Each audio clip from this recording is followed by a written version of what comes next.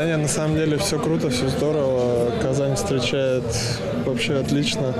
В плане матча звезд, я думаю, сделали все правильно. Как бы отменили конкурс на самые красивые буллиты, сделали буллит команды, потому что, ну, что уже придумать? Столько лет проходит, а повторяться, я думаю, никто не хочет.